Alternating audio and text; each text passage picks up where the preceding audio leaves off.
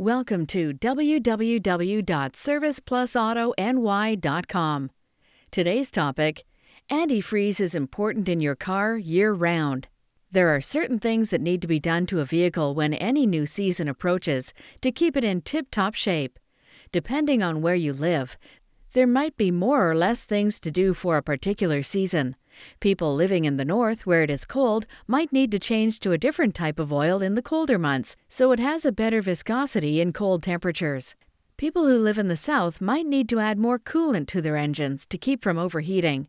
But when it comes to certain elements in a car or its engine, they should be done and maintained year round.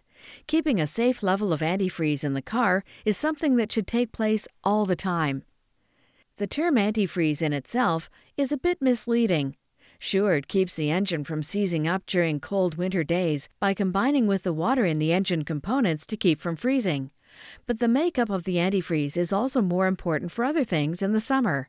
It acts as a coolant so that the engine does not overheat and your car won't break down on the side of the road. Antifreeze is a chemical mixture that works to lower the freezing point of the compounds within the engine. It shouldn't matter how far below zero the air temperature drops, as long as there is sufficient antifreeze in the system, the engine will run. That's not to say that the oil pan might not need a heater placed on it, though. Extremely cold climates require heaters to be placed on a vehicle so that the oil will warm up and not seize up in an engine, too. The reverse is also true of antifreeze.